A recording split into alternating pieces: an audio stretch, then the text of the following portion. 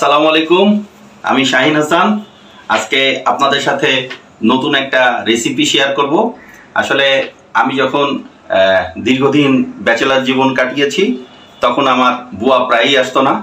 তখন থেকে আমি আসলে রান্না করতে করতেই রান্না করাটা আমার একটা হবিতে দাঁড়িয়েছে। আর ছোটবেলায় যখন মা বাবার সংসারে ছিলাম, তখন তো এক গ্লাস পানিটাও ঢেলে খেতাম না। তখন তো আমি রান্না করা কিছুই পারতাম না। কিন্তু ঢাকার জীবন শুরুর পরে এই যে রান্না করতে করতে করতে করতে আমার আসলে কোনো রান্নার কোনো ওস্তাদ নাই। আমি নিজে নিজে শিখেছি এবং আমার যারা অত্যন্ত কাছের বন্ধু, সহকর্মী, তারা সবাই আমার রান্নার ব্যাপারে জানে। যারা আমার খুব কাছের, তারা সবাই আমার রান্না খেয়েছে এবং অনেক প্রশংসা করেছে যে আমার রান্না ভালো। তা আমার হচ্ছে মাছের মধ্যে ইলিশ মাছ প্রিয়, তারপরে পাঙাশ মাছটা স্পেশালি নদীর পাঙাশ। নর্মাল পাঙাশটা আসলে খাওয়া যায় না গন্ধ। আমি আসলে নদীর পাঙাশটা খুবই পছন্দ করি। আর নদীর পাঙাশটা তো আমাদের দেশে সব বাজারে পাওয়া যায় না। তা আমি বড় একটা নদীর পাঙাশ কিনেছি। এই পাঙাশটা আজকে আপনাদেরকে রান্না করে দেখাবো। আমি একটু আমার আইটেমগুলো দেখাই। এইটা হচ্ছে পাঙাশ মাছ। দেখেন পিসগুলা দেখেন। পিসগুলা দেখেন কত বড় বড় করে করছি। এইটা হচ্ছে নদীর পাঙাশ। এইটা আমার একটা মেনু আর এখানে আলু আছে। এই যে আলু, কাঁচামরিচ আর পেঁয়াজ। আলুটাও আপনারা এরকম এরকম করে সাইজ করবেন। এরকম করে সাইজ করবেন কারণ মশলাটা আলুর ভেতরে ঢুকতে হবে। এটা একটা খুব ইম্পর্টেন্ট ব্যাপার যে আলুটা আপনি কতটুকু করবেন আলুটাও ভিতরে একটু স্পেশাল ব্যাপার থাকে। এরপরে আপনাদেরকে দেখাই রান্নার একটা মূল জিনিস হচ্ছে এই যে মশলা। যে মশলাগুলো দেখছেন, এই মশলাটা আসলে ইম্পর্টেন্ট এবং মশলা কোন সময় দিতে হবে, কতটুকু দিতে হবে, মশলা কিন্তু বেশি পরিমাণে দেয়া যাবে না। এবং এই মশলাগুলো সব মশলা আমি অল্প অল্প করে দিব। বিশেষ করে এই মশলাটা আমি দিব না, পাঁচফোড়ন, আর এই মশলাটা আমি দিব না, এটা বিরিয়ানি। এছাড়া সব মশলা আমি অল্প অল্প করে দিব। কখন কীভাবে আপনাদেরকে মশলাটা দিব, সেটা আপনাদের সঙ্গে শেয়ার করব। এইটা গেল মশলা। এখন তাহলে চলেন, আরেকটা জিনিস আপনাদেরকে দেখাই। এখানে দেখছেন, এটা হচ্ছে রসুন আর এটা হচ্ছে আদা। আপনারা ইচ্ছা করলে অনেকেই তো আসলে মাছে রসুন বা আদা দিতে চান না। আপনারা যদি ইচ্ছা করেন তাহলে এই রসুন এবং আদাটা স্কিপ করতে পারেন। রসুন আর আদা না দিয়ে অনেকে, রসুন, আদা না দিয়ে অনেকে হচ্ছে মাছ রান্না করে। আপনারা ইচ্ছা করলে রসুন এবং আদাটা আপনারা স্কিপ করে যেতে পারেন, না দিলেও হবে। কিন্তু আমি আমার রেসিপিতে অল্প করে, অল্প পরিমাণে রসুন এবং আদা ইউজ করি। আপনারা ইচ্ছা করলে দিতেও পারেন, নাও পারেন, অসুবিধা নেই। তো চলুন, কথা না বাড়িয়ে আমরা এই রান্নাটা শুরু করি। প্রথম আমার রান্নার মূল হচ্ছে আমি একটু আলুটা আপনাদেরকে দেখে আমি রান্না শুরু করছি। এটা হচ্ছে প্রথমে চুলাটা আমি একটু জাল দিচ্ছি। এখন আমি তেল দিচ্ছি। তেলও দিবেন পরিমাণ মতো, কারণ পাঙাশ মাছ নদীর পাঙাশে প্রচুর তেল থাকে, বেশি তেল দেওয়ার দরকার নেই, পরিমাণ মতো। অল্প একটু তেল দেওয়ার পরে প্রথম যে কাজটা আমি করব সেটা হচ্ছে আলুগুলো আমি তেলের মধ্যে দিয়ে দিব। প্রথমটা আলুটা আমি একটু ভাজি করে নিব।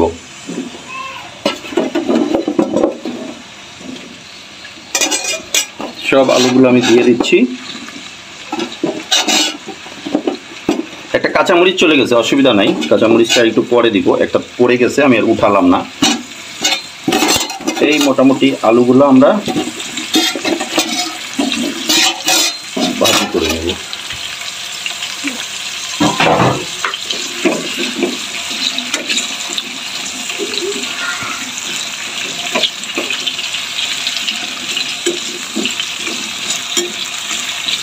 এবং আলু ভাজির মধ্যে শুধু শুরুতেই আমরা একটু আলুটা যদি একটু লবণ যাই, আমি শুরুতেই একটু লবণ দিয়ে দিব। আলুর মধ্যে আমি একটু লবণ দিয়ে দিচ্ছি। পরিমাণ মতো, বেশি দিবেন না, কারণ পরে আমরা আবার একটু লবণ ব্যবহার করতে পারি। পরিমাণ মতো আপনি লবণ দিয়ে দিলেন। আপনাদের স্বাদ অনুযায়ী দিতে পারেন। কেউ লবণ একটু বেশি খান, কেউ খান কেউ খান, সেই অনুযায়ী আপনারা লবণ ব্যবহার করবেন। এরপরে শুধুমাত্র শুধুমাত্র আপনি এখানে হলুদ, এই যে শুধুমাত্র একটু হলুদ দিবেন অল্প পরিমাণে। এটাতে কালার আসার জন্য আপনি একটু পরিমাণ মতো অল্প একটু হলুদ দিবেন। আর একটু গুঁড়ামরিচ পরিমাণ মতো, এই যে গুঁড়ামরিচ একটুখানি গুঁড়ামরিচ আমরা দিয়ে দিলাম। পরিমাণ মতো, বেশি দিবেন না। সব মশলাই খুব পরিমাণ মতো। আপনারা যদি কেউ মনে করেন মশলা বেশি দিলেই স্বাদ হয়, তা না। মশলা সবসময় পরিমাণ মতো দিবেন, আর চুলার জালটা কখনোই খুব বেশি আঁচে দিবেন না। রান্নার কিছু কৌশল আছে। আপনাদেরকে আমি স্পেসিফিক যেটা করলে স্বাদ হবে সেই অথেন্টিক রেসিপিটাই দেখাচ্ছি। আপনি একটু দেখেন। আলুর কালারটা আসছে, আমরা একটু আলুটা কড়া করে ভেজে নিই।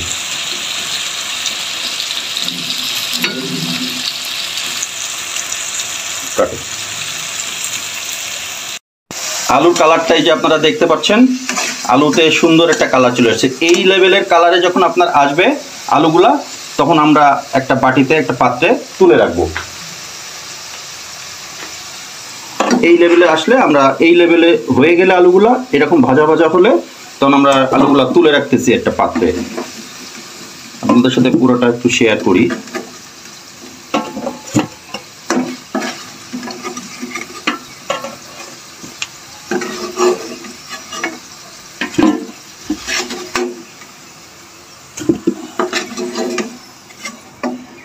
এই আলুটা তোলা হয়ে গেলে ঠিক এই এই যে তেলে আমরা আলুটা ভাজি করছি, ঠিক লবণ, তেল, আর যে একটু কাঁচামরিচ একটু গুঁড়ামরিচ আর হচ্ছে হলুদ। এটার ভিতরে আমরা আমাদের ধুয়ে রাখা আগে থেকে যে মাছ, এই মাছটা এখন আমরা এই তেলে আমরা অল্প করে ভেজে নেব, জাস্ট এই তেলে কোনো এক্সট্রা মশলা বা অন্য কোনো কিছু দিব না।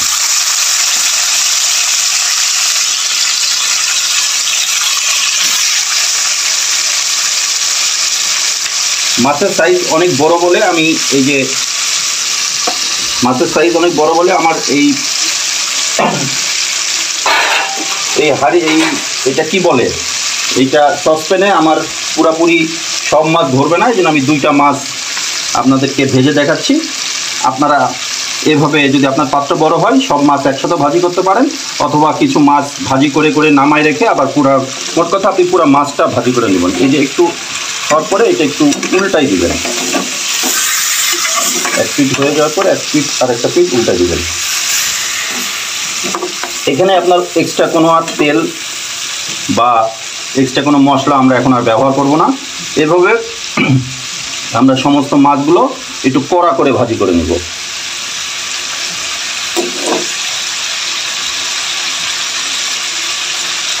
মাছটা ভাজি হচ্ছে, আমরা একটু মাছ ভাজি হইতে সময় দেই। আমরা প্রথমেই শুরুতে দেখাইছিলাম যে যে আলুটা এরকম লেভেলে করে ভাজি করে রাখছি। আর আপনাদেরকে একটু দেখাই, মাছটা ঠিক এরকম কড়া করে ভাজি করবেন। এবং সবসময় খেয়াল রাখবেন, মাছটা ভাজি করতে যে যেন ভেঙে না যায়। ভেঙে গেলে দুইটা জিনিস হবে। এক হচ্ছে মাছের যে সৌন্দর্য, সেটা নষ্ট হবে এবং স্বাদটাও কিছুটা নষ্ট হয়ে যাবে। মাছটা পুরো তরকারির সাথে লেগে যাবে, মিশে যাবে, গুঁড়া গুঁড়া হয়ে যাবে। এই জিনিসটা সবসময় খেয়াল রাখবেন যে এইভাবে যেন আপনারা মাছটা একদম পুরোপুরিভাবে ভাজি হয়, যেন ভেঙে না যায়। এরপরে আমরা যেই তেলে আলুটা আর মাছটা ভাজি করছি, আমরা এখনও কোনো মশলা বা কিছুই ব্যবহার করি নাই। আপনাদেরকে এমন অবস্থায় আমি এখানে দিয়ে দিচ্ছি। আগে থেকে কেটে রাখা পেঁয়াজ। পেঁয়াজ কাটাটা এগুলো আপনাদেরকে আমি দেখাই নাই, কারণ অনেক টাইম ওয়েস্ট হবে। আপনারা পেঁয়াজটা এরকমভাবে কেটে রাখবেন। এরপরে আমি দিচ্ছি ওই তেলেই পেঁয়াজ এবং কাঁচামরিচটাও দিয়ে দিচ্ছি। এই যে কাঁচামরিচ, দেখতে পাচ্ছেন? এই কাঁচামরিচগুলো আপনারা আস্তে আস্তে দিবেন। কেটে দেওয়ার কোনো প্রয়োজন নাই। আপনারা আস্তে আস্তে কাঁচামরিচটাও দিয়ে দেবেন। পেঁয়াজও খুব বেশি দিতে হবে যে স্বাদের জন্য তাও না। পেঁয়াজও আপনি পরিমাণ মতো দিবেন। আপনি কতটুকু মাছ রান্না করছেন ততটুকু আমরা কিন্তু আর এক্সট্রা তেলও ব্যবহার করি নাই। ওই তেলের মধ্যে যেইটুকু তেল আমরা শুরুতেই নিয়েছিলাম, সেইটুকু তেলের মধ্যে। এই পরিমাণে পেঁয়াজটা একটু এই লেভেলে আসার সময়, এরকম সময়ই আমরা যা মশলা দেওয়ার, এখনই আমরা মশলাগুলো দিয়ে দিব।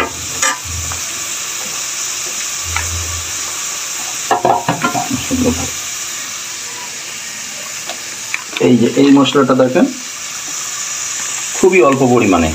এই যে, সব মশলা আমরা অল্প অল্প করে দেব। সব মশলা আমরা অল্প অল্প, এটা ধনের গুঁড়া।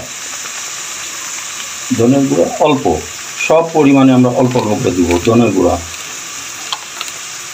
এইটা হচ্ছে জিরার গুঁড়া, জিরা। সব মশলা আমরা অল্প অল্প পরিমাণে দিব। এটা মাছের মশলা, এই যে মাছের মশলা। মাছের মশলা অল্প করে দিব। সব মশলা আমরা দিব খুব অল্প পরিমাণে, খুবই পরিমাণে অল্প অল্প করে। আমরা প্রথমেই একটু গুঁড়ামরিচ দিয়ে রাখছিলাম। এখন আপনাদের স্বাদ অনুযায়ী অল্প পরিমাণে গুঁড়ামরিচ। আপনারা কি পরিমাণে মরিচ খাইতে পছন্দ করেন, সেই স্বাদ অনুযায়ী আপনারা মরিচ দিবেন। এটা হলুদ হলুদ আর আমরা দিলাম না, প্রথমে যে হলুদ দিছিলাম, তারপরে অল্প একটু হলুদ দিতে পারি আমরা।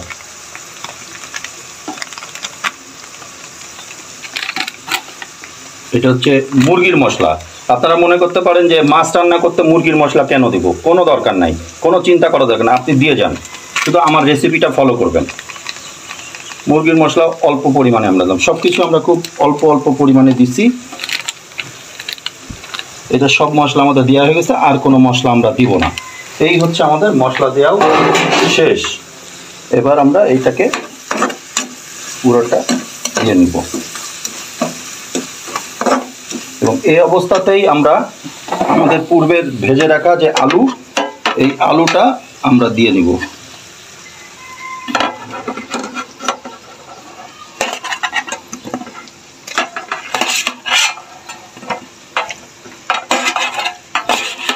পূর্বে যে আলুগুলো আমরা ভেজে রাখছিলাম, ওই আলুগুলো এমন অবস্থায় ঠিক এই লেভেলে আসলে আমরা আলুগুলো সমস্ত আলু এর ভিতরে এখনই আমরা এই অবস্থায় দিয়ে দিব।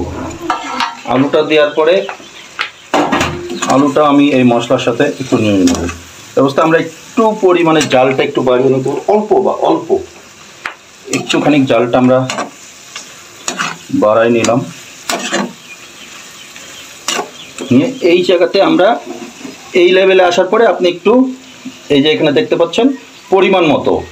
এই যে এইটুকু হচ্ছে পরিমাণ মতো রসুন আর আগের থেকে বেটে রাখা আমাদের এইটুকু আদা, পরিমাণ মতো আদা। আমরা পুরাটাই দিয়ে দিই আদা, রসুন, যেটুকু কেটে রাখছিলাম, দেখাইছিলাম। এটা আমি ধুয়ে মশলাটুকু, পুরাটুকু দিয়ে দিলাম। আপনারা ইচ্ছা করলে এই আদা রসুনটা ইচ্ছা করলে নাও দিতে পারেন। কিন্তু আমি এভাবে রান্না করি, আমার খেতে অনেক মজা লাগে, এজন্য আমি আদা এবং রসুনটাও এখানে দিলাম।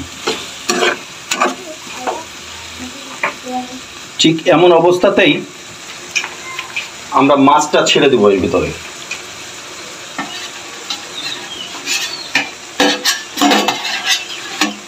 এই লেভেলে আসার পরেই আমরা মাছগুলো ভেতরে দিয়ে দিব। এভাবে উপরে আলতো করে সব মাছ ভাজি যেগুলো আমরা করে রেখেছিলাম, এই মাছ ভাজিগুলো আস্তে আস্তে করে আমরা এইভাবে সাজায় দিয়ে দিব। এর সাথে যে ঝোলগুলো ছিল সেটা আমরা দিয়ে দিলাম। দিয়ে জালটা একদম আলতোভাবে আমরা জাল দিব। জালটা এবার আমরা একটু কমিয়ে দিব।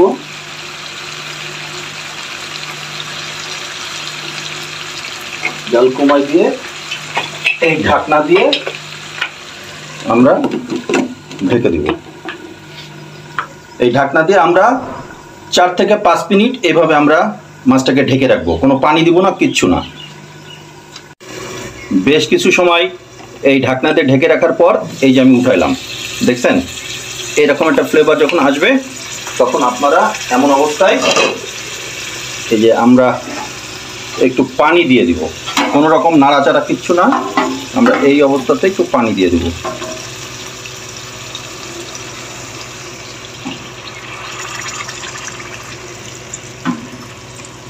পানিটাও খুব বেশি দিবেন না, পরিমাণ মতো। আর অল্প একটু দিব। এই এই হচ্ছে আমাদের পানি দেওয়া শেষ। এখন আবার একটু কাজ আছে। এই আমরা, এই যে মশলাটা যে নিচে লেগে রয়েছে, এইটা আমরা মিলাই দিব। মাছগুলো একটু পানিতে ঝোলের সাথে যে লাগে, নিচে এগুলো আমরা এভাবে নেড়ে দিয়ে পানির সাথে মাছটাকে মিলাই দিব। এই মোটামুটি আমাদের রেসিপি জালটা এই পর্যায়ে এসে জালটা বাড়াই দিবেন। অবশ্যই জালটা একদম ফুল ভলিউমে এই অবস্থায় দিবেন। একদম দুই মিনিটের জন্য। দুই মিনিটের জন্য ফুল ভলিউমে জালটা বাড়িয়ে দিয়ে এইভাবে ঢাকনাতে ঢেকে দিবেন। এতে করে মাছটার মধ্যে আমার যে মশলাগুলো দেয়া, এতে করে যেই কাজটা হবে মশলাটা আমি যে মশলাগুলো দিছি খুব পরিমাণে কম, কিন্তু যতটুকু মশলা দিছি, এই মশলাগুলা আলুর সাথে এবং মাছের সাথে মিলেমিশে একটা আলাদা স্বাদ তৈরি করবে। এইটাই হচ্ছে আমার মাছের আজকে রান্নার মূল রহস্য। এবং আপনারা এভাবে রান্না করে খাবেন, আমার বিশ্বাস আপনাদের কাছে অনেক ভালো লাগবে। এই যে আমরা এটা ঢেকে রাখছি, এটা আপনি পাঁচ মিনিট মতো এই হাই ভলিউমে, হাই স্পিডে চালানোর পর, তারপরে আপনার এটা উঠায় একদম হালকা আছে, খুব অল্প আছে, আপনার এটা দিয়ে রাখবেন। পাঁচ মিনিট পর্যন্ত এটা হইতে থাক। পর্যন্ত হাই ভলিউমে এটা জাল দিতে বলেছিলাম। পাঁচ মিনিট সেটা আপনি যতটুকু পানি দিবেন সেটার উপরে, পাঁচ মিনিট, চার মিনিট, তিন মিনিট বা ছয় মিনিটও হতে পারে, সেটা কোনো ইস্যু না। এরকম যখন টকবক করে ফুটছে, আপনাকে একটু দেখাই যে উঠাই। দেখেন এই যে জিনিসটা, মাছটা, আমি কিন্তু কোনো মাছ উল্টাই দিইনি। যেমন ছিল ঠিক তেমনই। ওই যে পানিটা এসে মাছ আপনি একদমই উল্টাইতে যাবেন না। এখন মাছটা খুবই নরম অবস্থায় আছে। এখন যদি মাছটা উল্টাতে যান, তাহলে ভেঙে যাবে। তাহলে সৌন্দর্যটাই নষ্ট হবে। সো আপনার মাছ উল্টানোর দরকার নেই। যেভাবে রাখছি, পানি দিয়ে ওই পানিতেই এই মাছটার সাথে কোনো রকম কোনো কিছু এখানে হাত দেওয়ার দরকার নেই। শুধুমাত্র একটা জিনিস করবেন, সেটা হচ্ছে যে হাই ভলিউমে আমরা যে মাছটাকে পাঁচ মিনিট বা ছয় মিনিট, সাত মিনিট যাবে আমি পাঁচ মিনিট জাল দিয়েছি আমার পানির পরিমাণ অনুযায়ী। আপনারা ইচ্ছা করলে আপনি যদি পানি একটু অল্প বেশি খুব বেশি দিবেন না, যদি একটু বাড়ান, আপনি ছয় মিনিট বা সাত মিনিট দেন। পানি যদি আরেকটু কমও দেন, কোনো অসুবিধা নাই, কারণ মাছটা আমরা ভাজি করে নিচ্ছি, আলুটাও মোটামুটি ভাজি করা। সো অল্প পানিতে এটা সিদ্ধ হয়ে যাবে। সেক্ষেত্রে আপনি পানি একটু কম দিলেও হয়তো তিন মিনিট হাই ভলিউমে জাল দিবেন। কিন্তু খেয়াল রাখবেন যে আপনার পানিটা শুকায় যাচ্ছে কতটুকু? একটু একবার দুইবার আপনি এটা উঁচু করে দেখবেন। কারণ আমি আরেকটু দেখাই। এই লেভেলে যখন আসবে, এই লেভেলে যখন আসবে, তখন আপনারা আবার এই যে আমার এই ঢাকনাটা দিয়ে এভাবে আবার ঢেকে দিবেন। ঢেকে দিয়ে আপনার এখন একটা মাত্র করেন আমি কিন্তু মাছ কোনো হাত দেইনি ঘুরাই নাই। আপনি যেটা করবেন, এই যে ভলিউমটা জাল, জালের ভলিউমটা একটু কমাই দিবেন। এই আঁচে পুরো মাছটা হবে। এখন আমাদের কাজ হচ্ছে, এই যেই আঁচে আমরা মাছটা দিয়েছি, এই আঁচেই ঝোলটা যখন একদম তেলের উপরে আসবে, হালকা হালকা করে তেলের মধ্যে থাকবে দুঃখিত।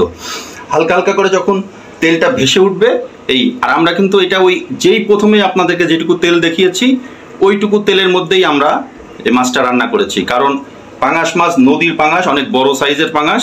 এই পাঙাশ থেকে যথেষ্ট পরিমাণে মাছের তেল বেরিয়েছে এখানে আমাদের এক্সট্রা অতিরিক্ত তেল দিতে হয় নাই। অতিরিক্ত তেল দিলে মাছের স্বাদটাও নষ্ট হবে। এখন আমরা এই পর্যায়ে জালটা একদম কমাই দিছি। এখন আমাদের এই চার পাঁচ মিনিট পর আমরা মাছটা নামাই ফেলে, তখন আমাদের চার পাঁচ মিনিটের পরে ঝোলটা যখন শুকায় আসবে, তখনই মোটামুটি আমাদের মাছটা খাওয়ার উপযোগী হবে। তখন আপনাদের সাথে মাছটা খেয়ে শেয়ার করব। আমাদের আজকের মাছের রেসিপিটা কেমন হয়েছে? আমি অলরেডি ঘেমে গেছি। রান্নাঘরে তো অনেক গরম। শেষে আমি বলে গিয়েছিলাম পাঁচ সাত মিনিট আলতো আলতো জালে, কিন্তু আমাদের পানি না শুকাতে আমি প্রায় বারো থেকে তেরো মিনিট মতো আলতো জালে দিয়েছিলাম। এখন আপনাদেরকে দেখাই কি অবস্থা।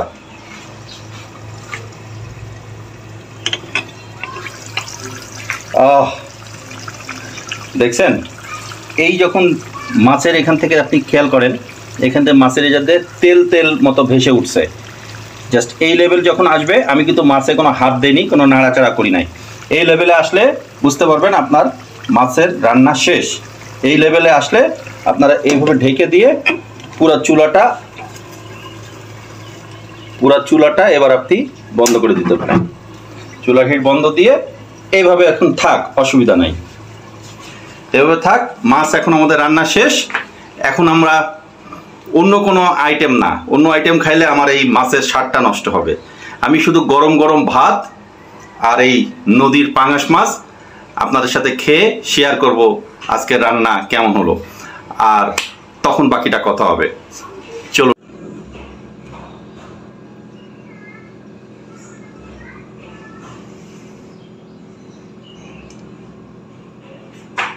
আজকের মতো আমাদের মাছের রান্না শেষ।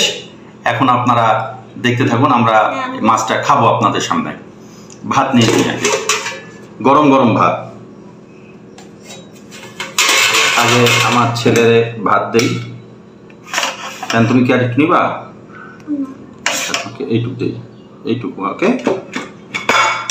আমি একটু ভাত নিয়ে নিই। ভাতটা যদি আপনাদের গরম গরম হয়, তাহলে মাছের সাথে, গরম মাছের সাথে গরম ভাত। এটা অসাধারণ স্বাদ পাবেন। আসলে গরম ভাতের সাথে গরম মাছের স্বাদটাও আমার বিশ্বাস অনেক ভালো লাগে। ভাতটা একটু ঢেকে মাছটা দেখায় আহ অন্যরকম একটা স্বাদ অন্যরকম একটা ঘ্রাণ বেরিয়েছে। আমরা একটু, মাছটা একটু আগায় নেই। দেখেন, একটা মাছও একটুটাও ভাঙে নাই। আমি এই পাশের মাছটাই নেই। এমনভাবে তুলবেন যেন মাছটা ভেঙে না যায়, আস্ত থাকে। কারণ আমরা মাছ রান্নার শুরু থেকেই চেষ্টা করছি মাছটা যেন ভেঙে না যায়।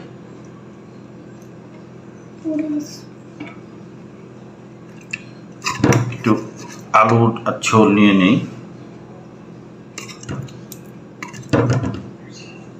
চান তোমারে কি দিব? বড় মাছ না ছোট মাছ? আচ্ছা ছোট মাছ আর আচ্ছা তোমাকে এই মাছটা দেই। ছোট মাছ আর একটু না, ঝোল দাও। ঝোল ঝোল এবং আলু। একটু গরম অসুবিধা নাই। আস্তে আস্তে সাইড দিয়ে খাবা। মাখাই নিও। ঠিক আছে? চলেন তাহলে আমরা একটু খেয়ে দেখি। উফ একটু গরম। আসলে তো ঠিক বলছো বাবা। একটু আলু দিয়ে একটু ঝোলটা। ঝোল তো রাখি নাই একদমই ভুনা। তারপরও একটু ঝোল দিয়ে প্রথমে একটু মাখায় খেয়ে দেখি। একটু গরম গরম আমি চাইছি আসলে একটু গরম গরম খেতে। বিসমিল্লাহ রহমান রাহিম। হুম। অসাধারণ টেস্ট অসাধারণ। হ্যাঁ। আমি আসলে নিজে রান্না করছি বলে বাড়িয়ে বলছি না। এই রেসিপিটা আমি যেভাবে আপনাদেরকে দেখিয়ে দিয়েছি, ঠিক সেমভাবে আপনারা বাসায় রান্না করবেন। আমার বিশ্বাস হোটেলে নদীর পাঙাশ মাছ খেয়ে আপনারা যে মজা পান, তার থেকে অনেক মজা পাবেন। এবং আমি মশলার পরিমাণ, অন্যান্য যা কিছু সব কিছু আপনাদেরকে দেখা দিচ্ছি কখন কোন সময় কোনটা দিবেন। কোন মশলা কখন কোন সময় দিবেন সেটা খুবই গুরুত্বপূর্ণ। একটা রান্না স্বাদ হওয়ার জন্য। আমি বাকিটা একটু খেয়ে দেখি। আলু একটা মাখানি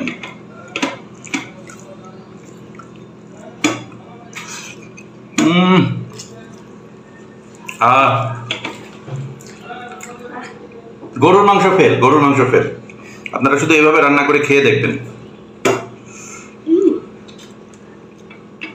তোমার কাছে কেমন লাগতেছে বলো, সায়া? তোমার তোমার রান্না অনেকদিন খেতে ভালো লাগছে থ্যাংক ইউ বাবা। কথা না বলে বিসমিল্লা বলে খাও। আলহামদুলিল্লাহ। অনেক মজা অনেক মজা। একটু মাছ নেই। ও, গরম। দেখেন।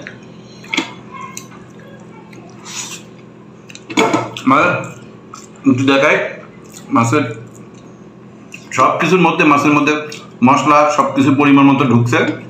এদিকটাতে একটু তেল তেল। এদিকটা একটু খেয়ে দেখি। ও, হাত দেওয়ার সাথে সাথে খুলে চলে আসতেছে হাতের সাথে। এদিকটা একটু ঝোল নেই। ঝোল আসলে একদমই কম। কিন্তু এভাবেই মজা লাগবে। এভাবে ঝোল রাখবেন না, আমি যেভাবে দেখাচ্ছি এক্স্যাক্টলি এভাবে রান্না করবেন।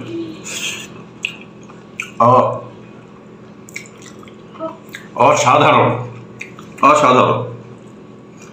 এভাবে মাছ রান্না করে যদি আপনি খান, তবে একটা সত্য, মাছটা একটু বড় সাইজের হতে হবে এবং নদীর পাঙাশ। নদীর পাঙাশটা একটু বুঝে কিনবেন, সব বাজারে অবশ্য পাওয়া যায় না। যদি বুঝে কিনতে পারেন নদীর পাঙাশ, তাহলে এর রান্না, এভাবে যদি রান্না করে খান, গরুর মাংস, এটা কিছুই না। আমি আপনাদেরকে চ্যালেঞ্জ দিয়ে বলতে পারি। আচ্ছা খাও বাবা।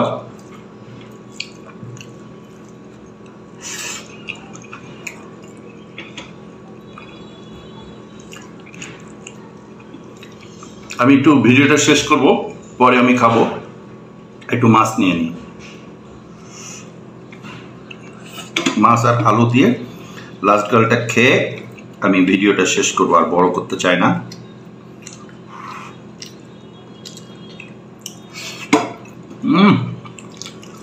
আহ